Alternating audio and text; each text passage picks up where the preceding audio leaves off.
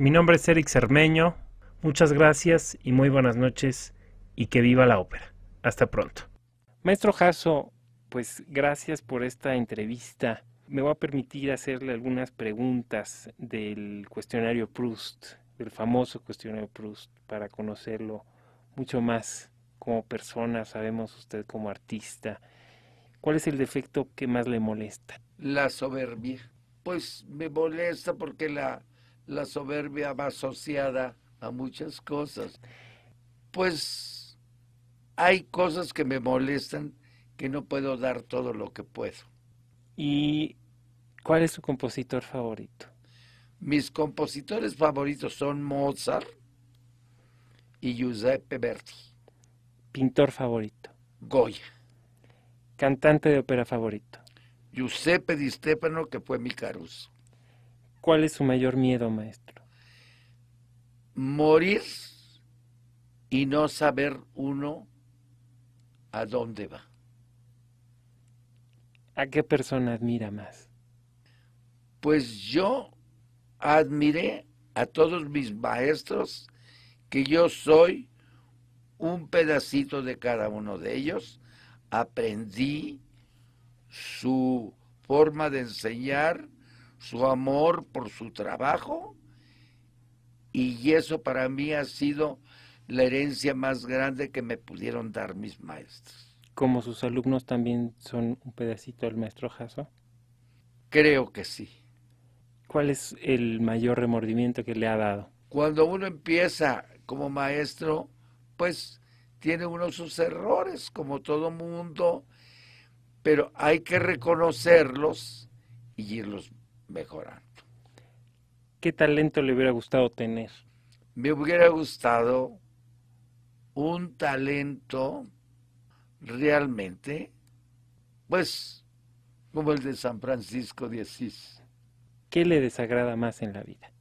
Me desagrada que aunque uno tenga muchas cosas, se engolosine uno y haga que todo mundo crea que uno es lo que le cuenta. ¿Cuál es su posesión más atesorada? Es mi trabajo.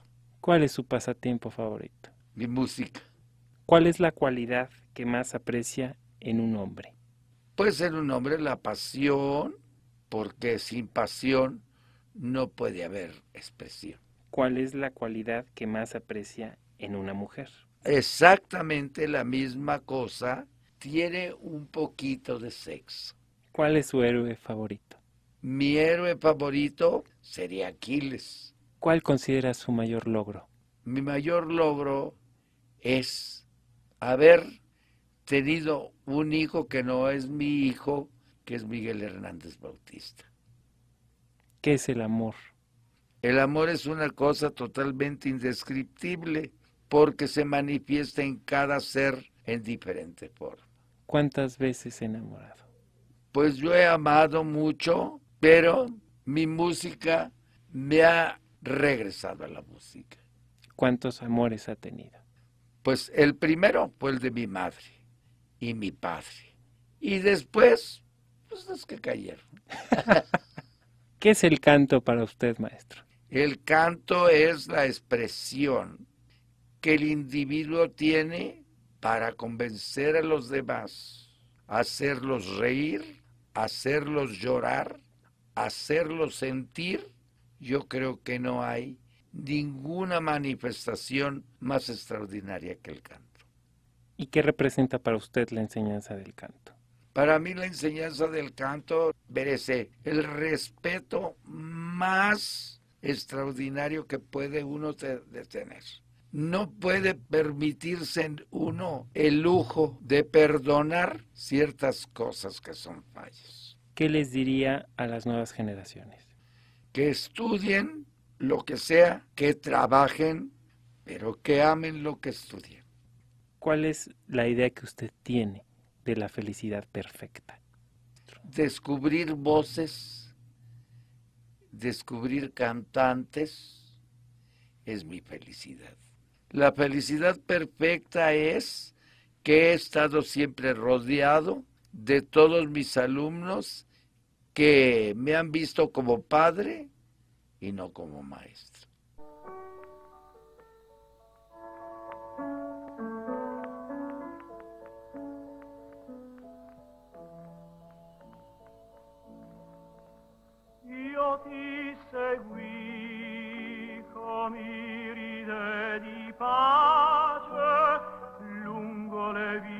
Del cielo.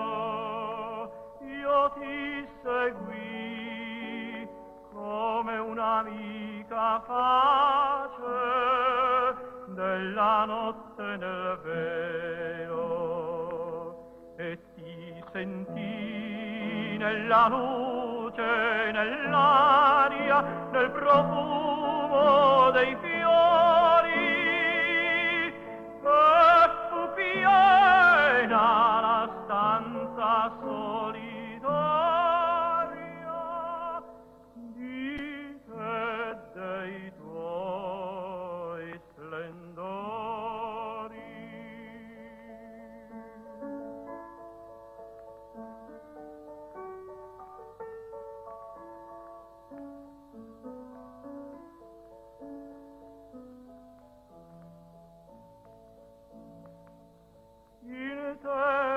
rapito al suon della tua voce lungamente sognai. E della terra ogni affanno ogni croce in quel giorno scordai